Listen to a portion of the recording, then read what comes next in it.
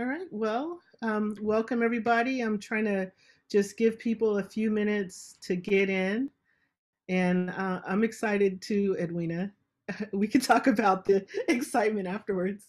Let's see here. I um, I am going to use Menti for um, some things. I wanted to wait until everyone got in before I pasted the link and the number for those of you who are already familiar. Um, let's see here. Boom. So that's the link.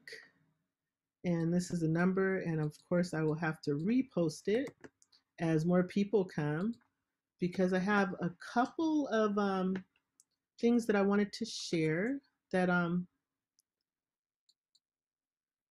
just so I know how people are doing, because this will be an interactive conversation to the extent that we can interact um, using a webinar format.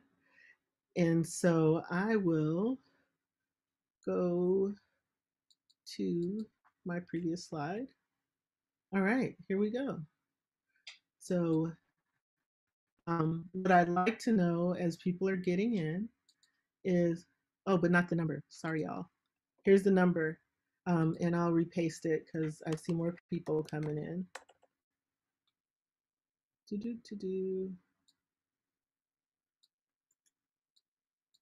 Maybe I'll put them in one message to make it easier. Oh, it's not going to work. Space.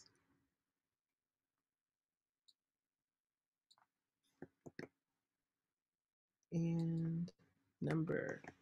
All right. And so we're going to try to make sure that I can um, meet some of your expectations too. And so we'll start here. Just kind of want to know how people are feeling because, you know, everybody's already started their day, right? And then um, the next thing I'm going to ask, I'll give you a few minutes because I see um, things are still coming in. I want to see how they settle. I can agree with the the anxious feeling. It's kind of funny. I do a lot of public speaking, and for whatever reason, when I'm talking to my tribe or talking about something that is really near and dear to my heart, I get a different level of anxiety. It's like I really want to get it right. Um, so this is for y'all. And oh, the closed captioning is available through um, Google Sheet, being offered by Google Slides. And it may or may not be 100% accurate, but hopefully it will still be helpful. Um, because, of course, the goal is always to be helpful and do no harm. Let's see here. I'm going to switch so you can see what I see. I think that can be helpful too. So this is the Menti um, output and it looks like um, hopeful, anxious, excited. Um, I like that hopeful is included in that because without hope, um, how do we look forward and think forward in a positive way?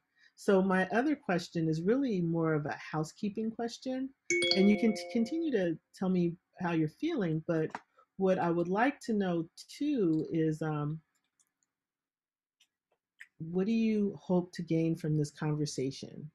And this will help me kind of guide um, thoughts and, you know, make sure that I cover anything that, um, you know, anything that you were expecting to hear about. Because um, for those of you who are into Afrofuturism, it can be, you know, there it's a pretty broad field. And in the time we have together, I'm really gonna skin skim the surface and hopefully give us some some ways to think about where we are and where we want to go in a different way.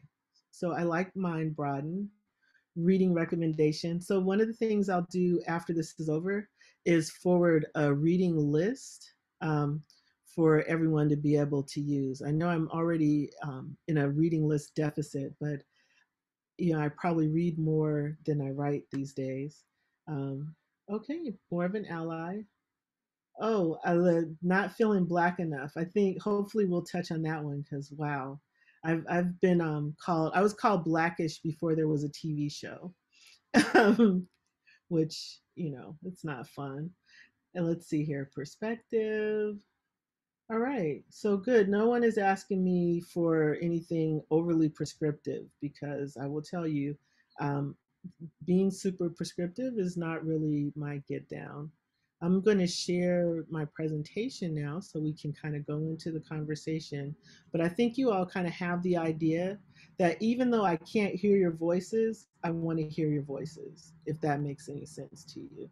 Um, I can't see your faces, but I can imagine you out there. Um, so we went through that. Um, I do have a couple of polls to launch. They'll be pretty quick. Um, one of these is Are you new to Afrofuturism? And um, this is just so I know, like, you know, if I'm talking to experts or to people who are kind of dabblers or are really um, just getting introduced to the subject. And so if you don't mind answering the poll, that would um, help me. Um, I think the poll is in front of you right now. If you can't see the poll, let me know in the chat because um, do do do do. Oh, I'm sharing poll results. Okay, that could be. I think I launched the poll and then let's see here. Relaunch poll. Here we go. All right, now poll in progress. Thank you. Please. Oh, here we go. Thank you. I was like, oh no, why don't I see anything? Um, almost everybody has answered. All right. So just a couple more people, and I'll give you a few more seconds.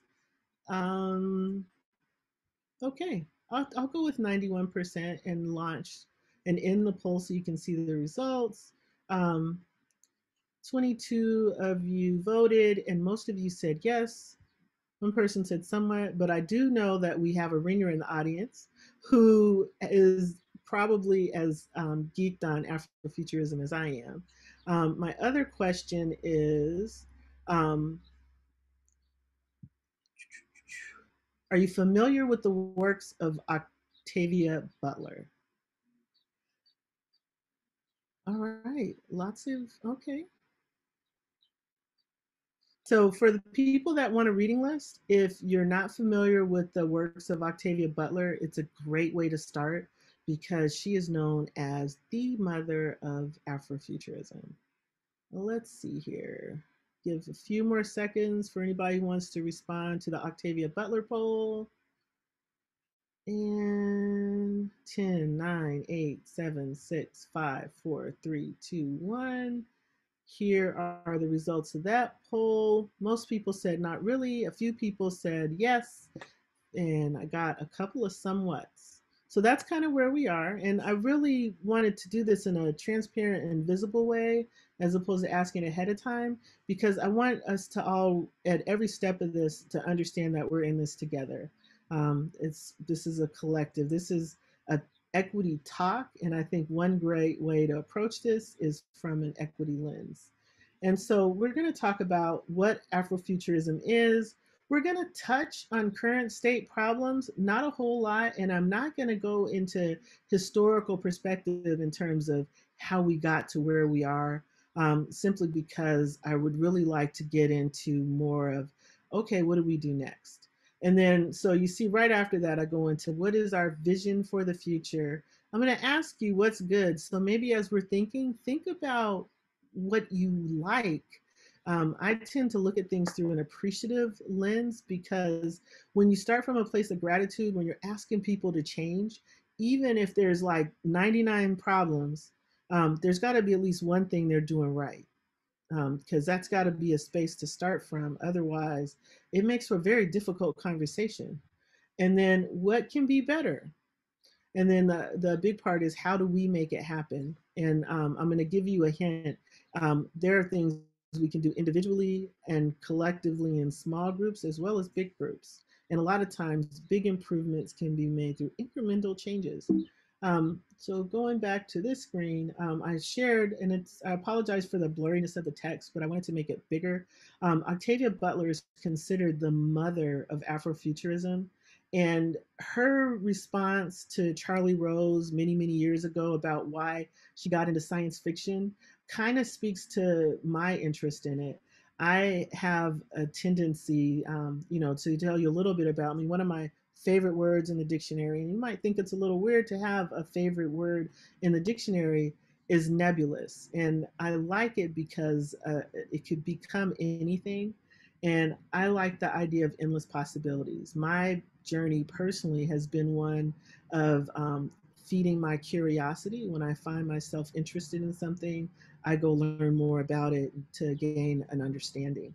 And um, Queen Mother Octavia Butler speaks to the fact that um, there are no walls in science fiction, that, that anything is possible, and there's no human condition that's off limits.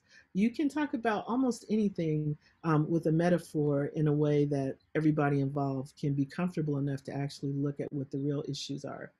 Um, so, what is Afrofuturism? And my response to you is it really depends on who you ask. Um, there are a lot of people, there are probably as many definitions of Afrofuturism as there are people studying and enjoying it. Mark Dery, Ytasha Womack, Reynaldo Anderson, Adrienne Maree Brown, the Dogon people, the Akan people are just some of the definitions that I tend to look to. Um, but let's start here. Afrofuturism describes visions of the future, including science, technology, and its cultures in the laboratory, in social theory, and in aesthetics through the experience and perspective of African diasporic communities. This is from Alondra Nelson, the president of Social Science Research Council, and Harold. Eh, well, yeah, but I bring up this particular definition because I think it is the one of the broadest, most inclusive definitions that I've come across and um, I'll give you a hint. I like the fact, I like not having any limits. Um, so on the left pictured, you will see Alondra Nelson. Immediately to her right, you will see um, the cover of Afrofuturism 2.0 by Reynaldo. Oh my goodness. And you will, by Reynaldo Anderson, sorry. And to the right, and that's more academic approach to looking at Afrofuturism. And then Afrofuturism is the book with the blue cover by Ytasha Womack. Um, she's considered, this was considered like the seminal um, book on Afrofuturism before Afrofuturism 2.0 came out. Um, it's more anecdotal and it goes into um, kind of what it is and it talks to you about the culture of people who are um, engaged in and interested in Afrofuturism. Um, so I did say that I would be listening to you. So please, if there's anything that I say that's not clear, you have questions, um, use the chat because I come from a call and response tradition. And since I can't see your, I can't make eye contact with you or see your smiling faces, um, this is one way that I know that I am um, either going too fast, too slow, or if I'm getting the right pace or making points clearly.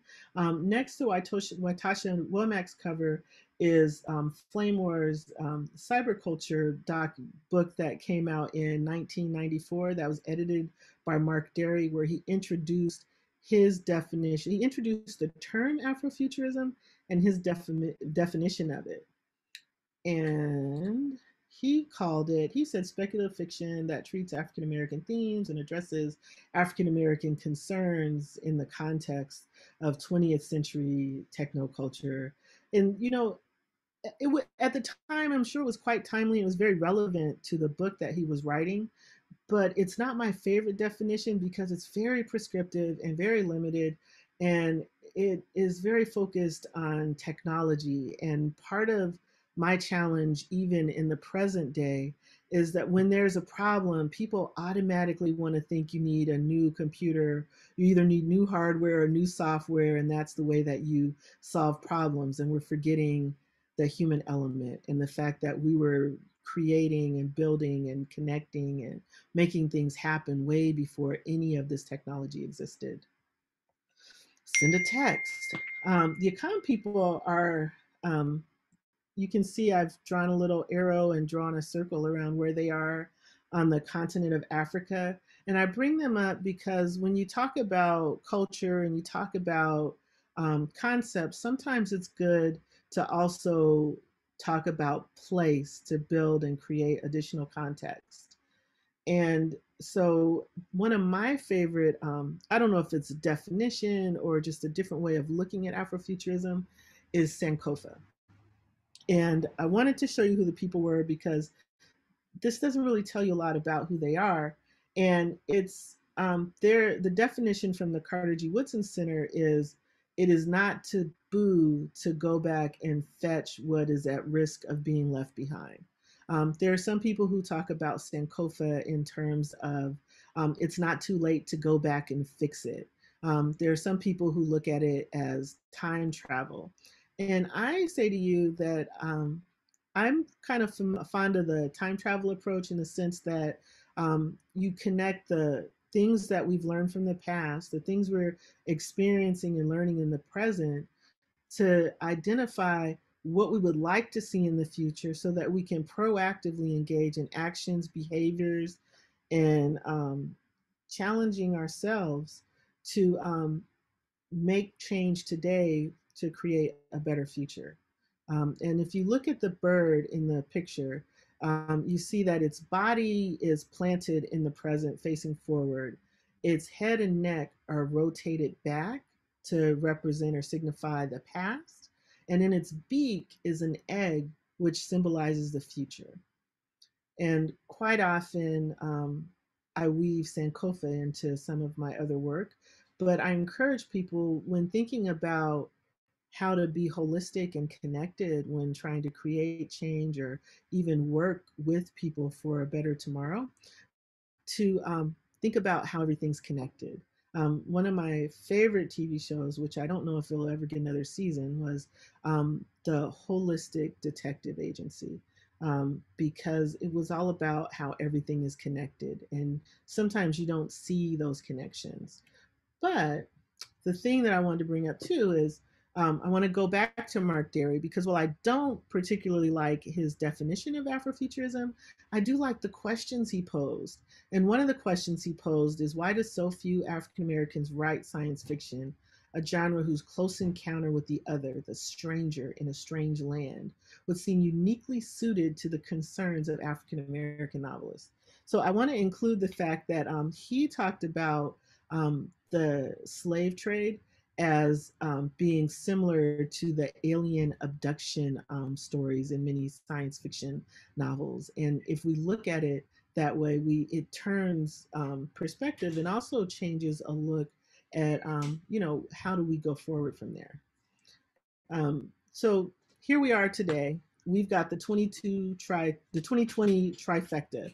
Um, there are people who want to cancel 2020, and there are other people who are celebrating all of the challenges that we're experiencing because, um, quite frankly, they've brought things to a head in a way that we're forced to face them. And you know, they they say we can only change the things that we face, right? So we've got the pandemic, the financial just the financial crisis and the racial justice outcry. Um, the, there are some who would say that without the first two, the third one would not have had the power and the level of significance that it has had this year. Um, and there are a lot of theories around that. People were sitting still and able to see what was happening on the news. Um, people were already in agitated state, and so it was like one more thing. Um, but here we are. People want change. Um, I'm looking at what people ha- hope to gain from this um, lecture. And I think um, that I'm seeing a theme of people wanting things to be better. And these are some of the things that I came up with on my own. But I would love if some of you would put in the chat some of the things that you would like to see changed or better. And you can make them individual, local, you can make it your neighborhood, you can make it campus, or you could think on a broader scale to the city or the world. Um, some people like to think in terms of the universe. okay, I'm starting to see things. Um, more diversity in publishing, movement on homelessness, significant prison reform. And so a lot of these are really common themes. Um, some of you know I just spent the last year on the campaign trail, and I'll say I learned a lot, and I got a chance to hear a lot of people. Yeah, I would like to see Trump's concession too. Um, I got to hear a lot of people express um, their hopes and their visions for the city of San Diego or the county of San Diego as they were campaigning to be our leaders. And so now, you know, the election's over, and, you know, perhaps this is a moment when we can all advocate for more um, positive change. And yes, a greater focus on our humanities. Um, I believe I am a proponent of the um, design lens thinking or design thinking so that we include empathy when we're creating solutions and think about who needs to be included. Um, one of the things, let's see, change is scary. So a lot of the things that we, oh, thanks, Jasmine. One of the things that we um, have to deal with is the present state is this is what we have. This is where we are. It's what we know. Um, i don't know how many of you um, just by show of hands or uh, yeah i guess that would probably be the best oh there's no hand raising. Um, how many of you remember have heard the saying you know i'd rather deal with the devil i know um, the devil i know is what oh i am seeing raised hands you know is what has kept us um, and oftentimes locked in where we are because you know we know even though we might be uncomfortable with the way things are it's safe because we know kind of know what to expect it's predictable and um, a lot of times we can't even imagine the alternative to the current state.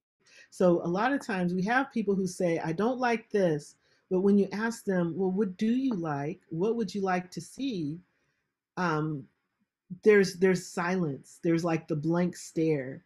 And my hope is that afrofuturism is a tool that we can use and think of the future in a different way um, and take away the limits of what we can't do and what's not possible and just think about what we would like because if we can come together or come up with a shared vision of how we would like things to be and how we would like to connect with and relate to each other, we can make change um, because it all starts with the vision, right?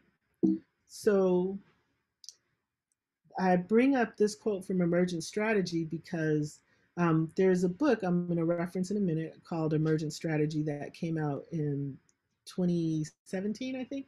But in 2012, Gibran Rivera was talking about emergent strategy and embedded within this, the biggest thing that I see that's probably most relevant to this conversation is it is the process through which we articulate a clear vision of where we want to go.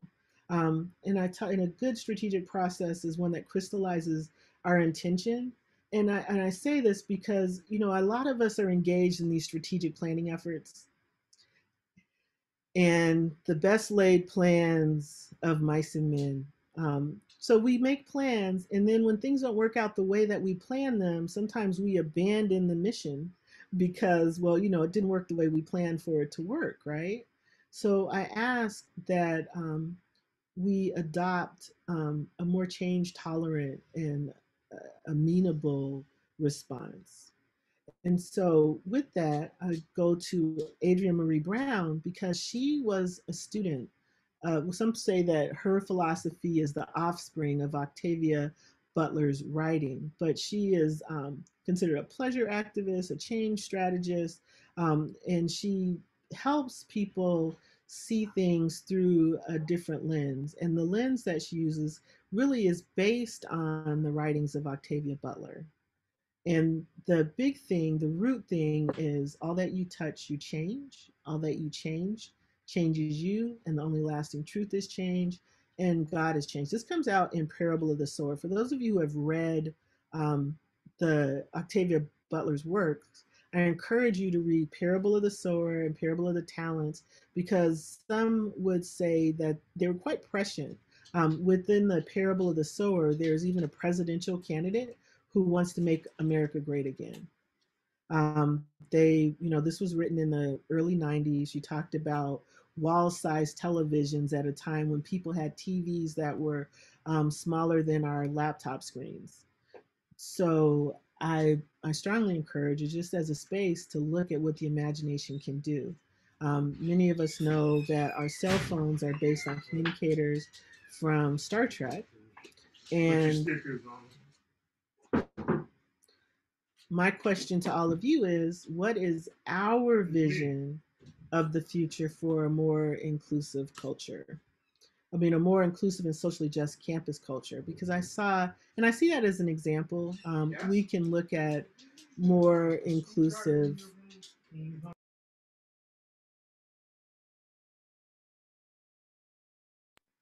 So the question is, how do we apply that in real life? Um, how do we um, come together? So part of it is our individual ideas, and part of it is our collective ideas. I didn't go into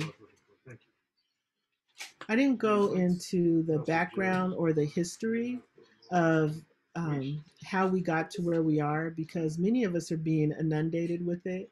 Um, but the question is, how do we change um, the limitations that we have?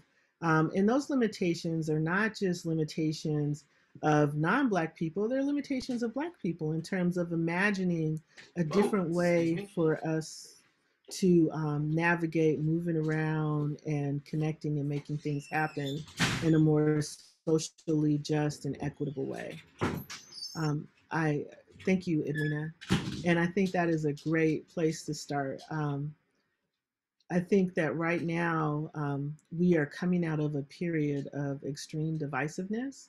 And I can tell you that my personal vision is that we focus um, as much time and energy as we did in um, getting to where we are now in terms of moving in a different direction as a nation and as a campus. You know, we've done all this anti-racism work. How do we find some reconciliation? Because um, there are a lot of different people with different ideas, and if we approach this from a space of blame and uh, recrimination, um, we're not going to get anywhere. But if we can um, show visions of what it is we actually want to see, um, I encourage world building. So let's see. I also want to start with what's good. If you're talking to people who don't see things the way that you see them, and you start from a place of what's wrong and how wrong they are and how everything is all their fault, um, they're going to shut down. I've been in conversations recently where um, people were trying to um, advocate for um, changes in policies or practices, and the tone was very you based instead of we based, and they got people stopped listening. What could be better? um, what are some things that we could do that would be better? I've been in a lot of conversations. Um, you know, I was part of the Born Free sessions, part of the anti-racism discussions, part of discussions with Shola Richards, um, with the Staff Association and Black Staff Association, and some common themes are emerging. And part of it is, you know, Edwina's right. It starts with our humanity and understanding that there is no like one way to present um, earlier, um, I had someone talk about um, not feeling black enough, and you know, I I struggle with that because you know, like I mentioned earlier, I've been called blackish because my interests are you know art, science fiction, and um, I actually like Lean Six Sigma and continuous development. I like looking at things in terms of how do we make them better and that's not necessarily you know militant enough for a lot of people but there is no normal it's kind of like um, for people who are familiar with the movie um, the matrix um, there was a moment in there where um, neo or keanu reeves character was talking to a young boy who was bending spoons within the matrix and he was struggling. He wasn't able to do it. And then the child looked at him and said, You have to remember there is no spoon. And so I think as we look at our perceptions and we look at how to reimagine not just Blackness, but just reimagine our society, we have to get to a space where we stop um, trying to create norms in other people. I think that um, the emphasis and the focus right now is on anti Blackness because um, people are being murdered. because of negative perceptions and assumptions of threat or danger that are not um, supported by any other evidence than perception. So I think that for me, that's one thing that could be better. And um, I appreciate what Edwina's point of view about how to stop being so binary because that speaks directly to um, you know whatever I think is normal is right and everything else is other.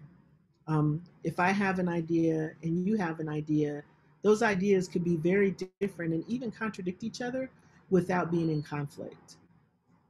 Because in reality, you can have two opposing ideas occupying the same space and thriving. Um, Afrofuturism Lounge. Um, this is a logo for a program that I created where I bring together science fiction writers and artists and publishers and creators of and innovators in a variety of different realms and the whole overlap of everybody in the space is a desire to build worlds or to share about world building um, within this space we have workshops on how to create comics how to find careers in those industries as well as um, how having a community garden is a futurist act because the idea of planting a seed and and watering it and waiting for it to grow is um, an act of believing that you can create something that wasn't there. I um, say, in terms of us, we've all heard this like trite phrase um, see it, believe it, achieve it. And you know, it seems really silly, but if we don't see it, if we cannot imagine it, if we cannot um, get rid of our um, self limiting beliefs, um, we can't change anything because, well, you know, we've got those limits. And then we have to believe it's possible because it's really hard to get people excited and get people to move in a direction that they don't believe is going to bear fruit. How many of you have gone to work one day and they said, okay, today we're going to start this new program and it's going to change everything and you didn't know anything about it and you were just supposed to get on board was that exciting for any of you so um and then so that belief is really there. And then the other part and this is the part a lot of times people don't really like is that any um any of it it takes work and effort. Um you know, I recently um, had a mentoring session where I thought I was further along a path than I actually am, and had to face the reality that I've got muscles that I need to build and um, work that I need to do in order to get better at what it is I think I want to do. I appreciate everybody's um, input and I um, would love to um, know if anyone has any questions or anything they want to say because I figured out that I can actually unmute you and allow you to speak. So if there's anyone who has any questions, um, if you raise your hand, I can allow you to talk.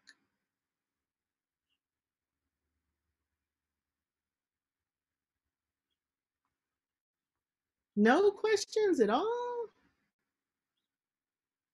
Well, we've got low hanging fruit, um, small incremental improvements, challenging self limiting beliefs, accept and adapt to change, and commit. Yeah, you can place them in the chat too, or um, and commit to building community. Are these um, four things um, conceivable and doable? Um, can I ask um, that when you find yourself feeling uncomfortable, um, particularly when you're feeling uncomfortable because someone is different, um, and you don't have to like verbalize this, but maybe, you know, do a self check. Um, I know I have to do it. I can tell you a story about when I um, was doing odd jobs one winter to like make extra money for Christmas presents. And I was alone in the store in the department and there was a, a gentleman walking towards me and he was he was he was a white guy and he had lots of tattoos and he was he his hair was cut really really short and he had on jeans and he had like a, a chain belt and um, he had on Doc Martens and uh, what do you call it? The flannel um, shirt and a leather jacket over it. And he's walking towards me. And the only thing I kept thinking as he was walking in the direction of the department I was working in, because it's a retail store, was that I hope he didn't, he doesn't need my help. I hope he knows what he wants and he can just get it and I don't have to interact with him because I was afraid that my interaction with him would be negative. Well, he needed help. And uh, he came and approached me and he was so polite and kind and he even said i know the tattoos and everything are off-putting and i regret doing this he said but um, they represent who i was less than they do who i am. Um, he brought up the subject and then he also asked for help and asked really good questions and i was able to help him and he made a pretty big purchase, and the interaction was nothing like what I had feared or anticipated it would be. And I know that we all have had experiences of that type at some point. and my hope is that we can um, catch ourselves when we're in that space and just, you know, take a moment and take a breath and allow the interaction and the experience to unfold. Um, sometimes we're interviewing people and um, we because they don't dress the way we expect people to dress or they don't present the way we expect people to present we sometimes set our expectations about what they're going to say or what they know. And um, my hope is that we can look and visualize a future where everybody gets to show up wherever they go as who they are and be taken um, seriously and treated with dignity and respect um, so that we can get to that better space. And I really um, left um, time for questions because um, I don't like the talking head model at all. If we were meeting in person, I would be able to see your faces and I would be able to hear your voices and we would be able to have a shared experience and um, grow together in, in a beautiful way. And I'm trying my best to duplicate that um, over the internet. I do want to tell you to stay tuned because um, coming soon in winter 2021, um, King Britt will be faculty in residence for the Cross Cultural Center. And I don't know how many of you are familiar with this work, but um, it's super exciting. I put this, I deconstructed the flyer um, in an attempt to make it more visible to you. Um, there's a QR code so that you can actually um, download the full flyer. And then here's a picture of the flyer. Um, but he is doing, so he's a Pew Fellowship recipient, um, King James Britt, his real name. Um, he's a producer, he's a 30 plus year producer, composer, and performer in electronic music um, Blacktronika, Afrofuturism in Electronic Music, a new lecture course. I've had a chance to listen to the music and look at some of the course content and assignments um, from his students, and I think that you will really enjoy this. And for people who didn't catch this earlier, um, Afrofuturism includes music, art, books, and you know, just creating space. I've designed a construct called the Afrofuturism Dream Tank, where I actually invite people to come in and dream together and create um, visions for the near and far future and identify at least one action that they can do personally to make that thing happen. Um, it's based on um, appreciative inquiry, and I hope that we can just make that a part of our everyday in terms of thinking about how things can get better when we find ourselves in a space of of discomfort. I don't personally offer work, writing workshops, but I do host them at my events.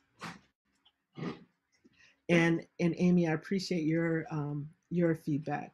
So um, for me, my stuff is at AfrofuturismLounge.com, and I actually launched a podcast a couple of weeks ago because I I don't know why, but I launched a podcast called Afrofuturism Dream Tank, where I bring together um, people who are thought leaders or, in some cases, laymen to talk about current issues and things that we want to see different and how we can envision them differently.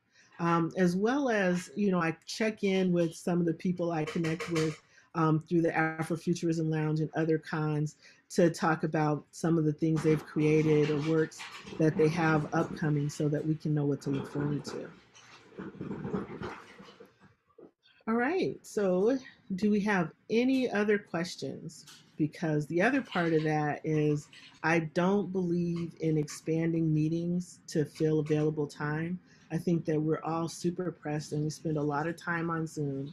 And so I don't want to keep you longer than you want to be kept, but I do want to make sure I've given you everything that I can give you or that you need or want before we depart. Um, what do I do when I'm down? so I am a grandmother. I have um, a two year old grandson who just seeing him lifts my spirits. At the same time, he's got that two year old energy. So he takes my mind completely off of everything. Um, so the making me smile part is um, spending time with him or spending time with my daughter who um, encourages me to do my art. So I guess when I'm down, which is a really weird thing, it even sounds weird coming out of my mouth, um, I paint, I draw, I write. Um, you know, sometimes I color, and I don't know. I'm just I like to create, and um, sometimes I shut down and just binge watch sci-fi shows. Um, a lot of consume a lot of content. Recently, binge watched Utopia which I don't recommend for highly sensitive person, but I enjoyed it, and you might enjoy it too if you like dystopian stuff. oh, yeah, someone who watched it. Bizarre and fun is definitely a good word. How many of you saw Lovecraft Country? If you haven't seen it, I recommend it highly. It connects past, present, and future. And okay, read and watch. My daughter bought the book, so now we're reading it. And then, how many of you saw the Watchmen series? So those are two really good contemporary examples of Afrofuturism. Um, I actually purchased a blue wig. I thought I was gonna do my own Orinthia blue, and then I realized I don't know how to style wigs, so yeah, gave up on that one. um, so I have um, an Octavia Butler book club on Facebook that I started. If anyone is interested in joining in on that, we're actually, um, oh, thanks. We're actually having a unpacking Octavia and her prescience discussion on Friday. Um, in terms of people I'm following on Instagram, um, so I probably have to pull it up, but there's a lot of blurred content in terms of people, I follow John Jennings, David Walker, Greg Elysée. Um, but then I also follow local organizations. I have, I think, four um, Instagram accounts that are interest based because um, I actually study continuous improvement because I enjoy it. I took my first TQM course in the late 90s and at the time it was it was attached to efficiency experts which were always presented as really uncool and so i never thought it would catch on because it had so many negative connotations and it really brings me joy that people have come to a space of understanding that continuous improvement is actually a good thing i did not read the city we became but yes nk jemisin is not just in genre, she is um, a, an award winning um, representative of genre. I also recommend um, Children of Virtue and Vengeance and Children of, what is it, Blood and Bone, um, written by a local author. And of course, my brain is going completely numb. Um, but I'll attach a nice list. But the, those two books were her initial, The Children of Blood and Bone, was a bestseller and it was her first novel. and Children of Virtue and Vengeance um, was a bestseller before it was even released. And now we're waiting for the third novel, hoping that the story continues. I've also read a lot of, um, yeah, I've also read a lot of um, uh, Nnedi Okorafor's work. Um, Binti was really interesting, and um, was it who? Let's see, Fear. I can't think of the name of it. I have to like pull out my bookshelf and look at the titles because one of the things is I consume it and then it just rests in my head. Um, any other questions about books or? Oh, Afrofuturism values in the workplace. I think part, a big part of that in terms of attaching it to the workplace would be um, looking at possibilities and opening your mind. I think if you consume, um, so in Afrofuturism, there is the Afro pessimist and the Afro optimist um, lines. I tend to be more optimistic, but even when you look at the pessimistic works, um, understanding the potential possibilities and even how things logically follow. Um, I recently watched, um, I don't know how many people are watching Discovery. Any Discovery fans out there? Um, so I've been watching Star Trek since I was like eight. Um, but um, one of on the recent episode, there was uh, there were people who were um, experiencing um, they were experiencing something that had been predicted um, millennia before in terms of environment and how the environment could affect their health and then realizing those um, outcomes um, in the future. And um, it was a nice commentary on the fact that you know scientists are telling us about the climate and we aren't necessarily all listening. Um, in terms of um, looking at, I say looking at um, how um, people show up in the future or can show up in the future. Um, one of the reasons Afrofuturism, or even just the Afro, the Black presence in science fiction, became a phenomenon was the fact that historically science fiction had been so white and in some cases so racist. Um, I point to Farnham's Freehold or to um, H.P. Lovecraft as examples. And so to look at or uh, pay attention to the absence or marginalization of Blackness in that space, um, you then start to imagine what if we rewrote the, rewrote the future where Black people were included and not necessarily in subservient roles, we could become more um, help people to be more um, aspirational in their imaginings. Um, there are a lot of things that, you know, in terms of the workplace, we tend to, and not all of us, but sometimes people um, set expectations based on background and history as opposed to opportunity and possibilities. Um, when I came to work at UCSD, I started as a blank assistant too. Um, to my knowledge, we are not even hiring anyone at that level anymore but it was like the lowest clerical position at that time. And the joke is the blank, when the um, role was created, was supposed to be filled in with something. And um, in most cases, no one bothered to put anything there. And so we were all blank assistants twos. Yes.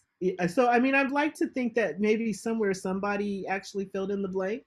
Um, but the, I remember when I became an administrative analyst for many people, because I had started at such a low level and you know, and I will not say it's because I was black because I don't think that would be fair or reasonable. Um, that you know I had plateaued and peaked, and that I should be quite happy that I had traversed so far in such a short time. And imagine how many people we have that are currently in spaces where um, people think that you know they've already gone far enough, and that you know heaven forbid they're considered a credit to their race.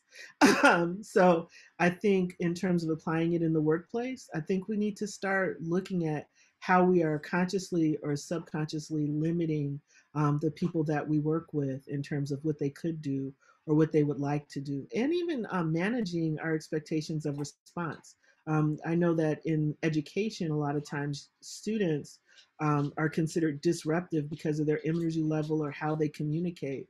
And some students, some children, some adults, the way that they communicate excitement or displeasure is more vocal or more visible or less constrained and um, it's taken as a negative. But what if we channeled that excitement and energy and made it a positive and looked at it as a cue that you know this is somebody who's really on board and wants to help make whatever it is we're talking about happen? Okay so we are at 1250 and amy yeah secretary two and it got oh it was secretary two and got upgraded to blank assistant two and um, yeah, we saw how that worked. Um, so I need to share the survey. Sorry about that. This is the last slide. Um, I thank you for being here and giving me your time and attention. And I hope you gained something from this that we can all carry forward to experience a greater future. Um, please complete the brief survey. You can use the QR code or if you prefer to type in the link, as some people do, it is available. Um, this presentation has been recorded and so we will be able you'll be able to share it and see it and let's see put link in chat um, i should have thought of that. So um, thank you so much and i really appreciate all of you um, sticking with me all the way to the end